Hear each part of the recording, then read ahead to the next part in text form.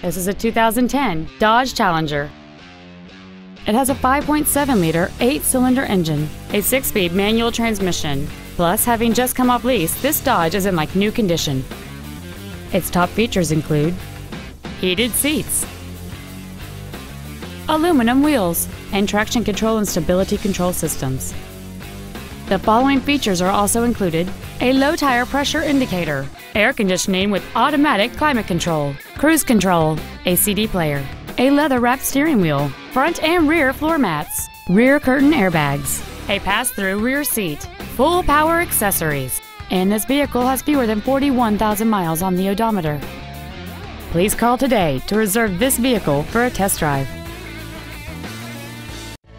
Off Lease Only Miami is located at Northwest 145th, just east off 57th Avenue, south of 826, and north of Gratigny. We apologize for some navigation systems not recognizing our address. Please call us if you get lost.